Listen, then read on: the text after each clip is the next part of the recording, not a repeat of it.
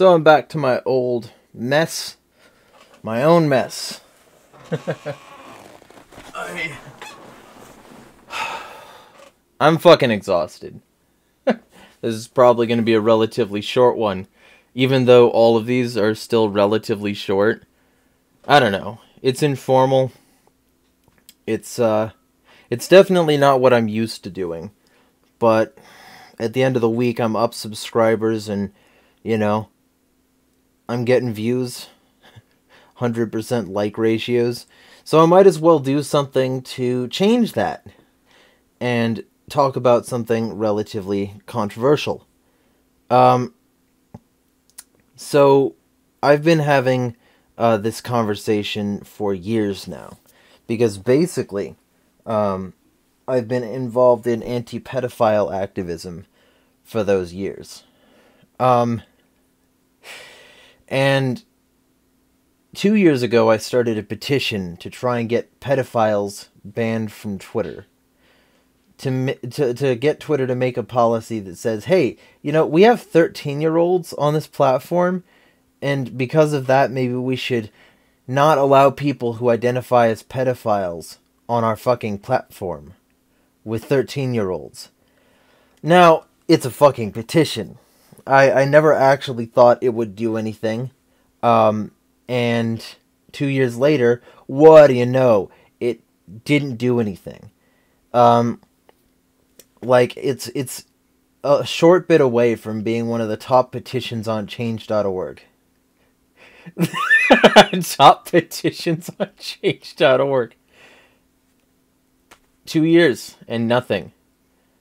Um so I mean you can feel free to sign that. I guess link will be in the description. But ultimately, the primary purpose of this particular video is to talk about the results of sharing that petition. Um, the first result is the constant cry of censorship and the claims that I'm against free speech because I don't want pedophiles on a platform with children. Well, no. No. It's not against free speech for me to kick you out of my house because you're handing out NAMBLA leaflets.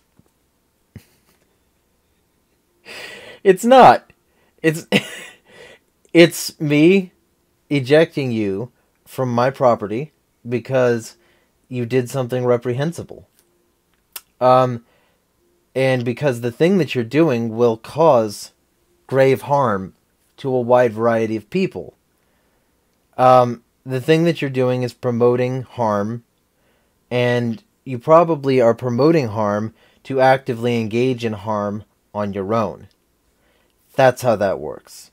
You, you'd have a hard time convincing me that people who don't like do this stuff, who don't find ways to do it, are the ones advocating for it.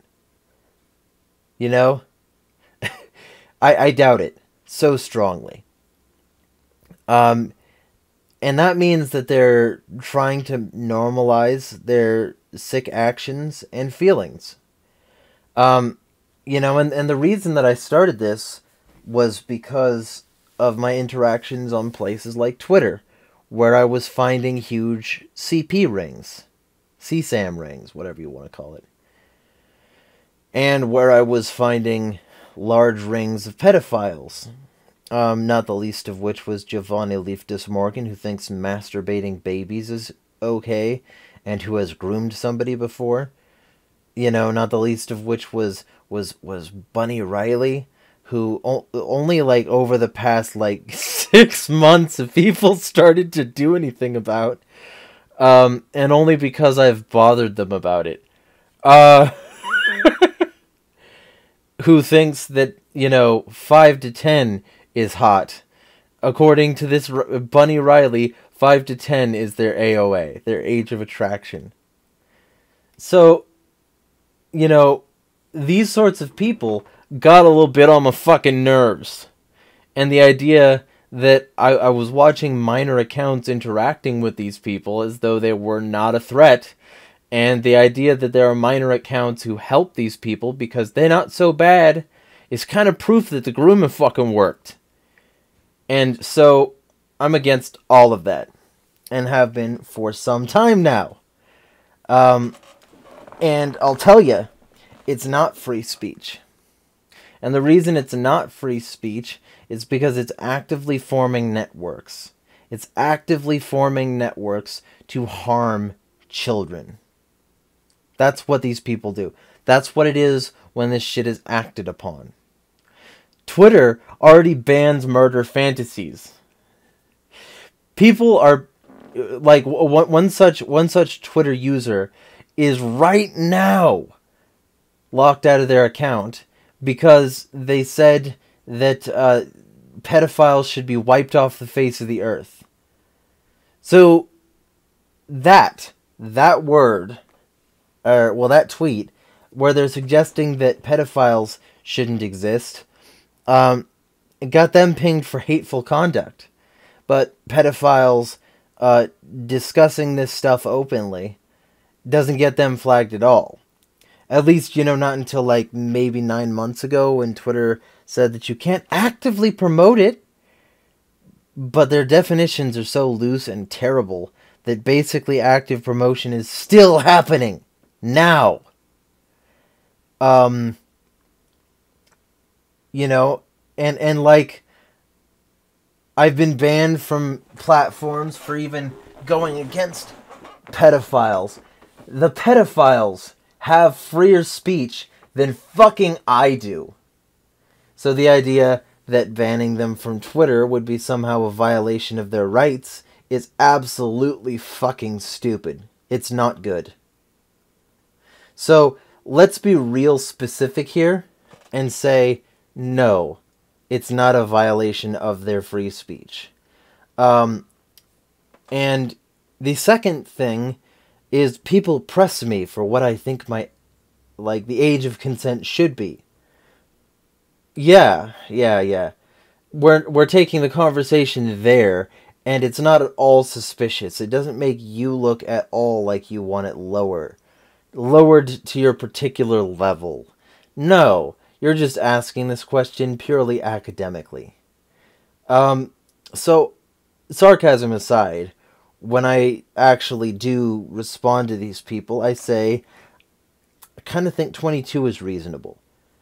Um, because it's the minimum age, like, due to my knowledge of medicine, the minimal age at which the prefrontal cortex could at least be mostly developed, right? So, the prefrontal cortex is responsible for reasoning. It's responsible for the ability to make rational decisions. Um, and without it, it's kind of hard to do that. And if you can't make rational decisions, you can't have informed consent. Kids can't consent. It's why they have parents sign field trip forms, you know? It's why the the pledge of allegiance is ridiculous because kids can't consent, much less consent to your nationalism.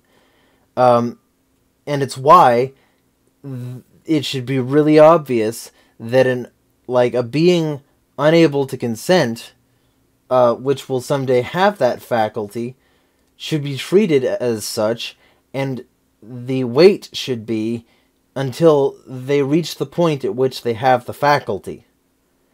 I don't see that as an unreasonable call, but apparently it gets a lot of people a little bit miffed.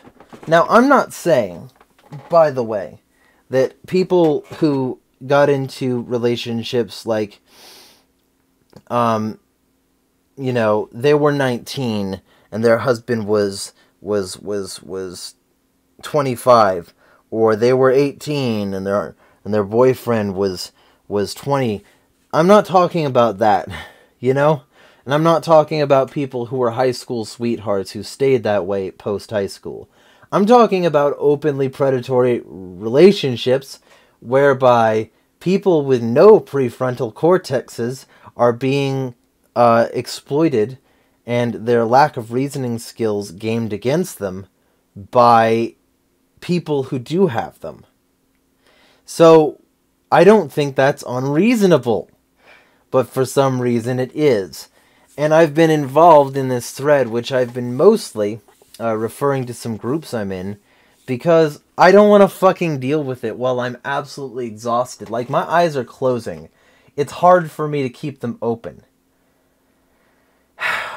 um but I mean, I'll keep going on these subjects for as long as necessary because there are hundreds of Epsteins. The idea that one poofing away means that suddenly, and that's allegedly, by the way, I think the guy is still alive. He was an intelligence asset. He bought a dental chair.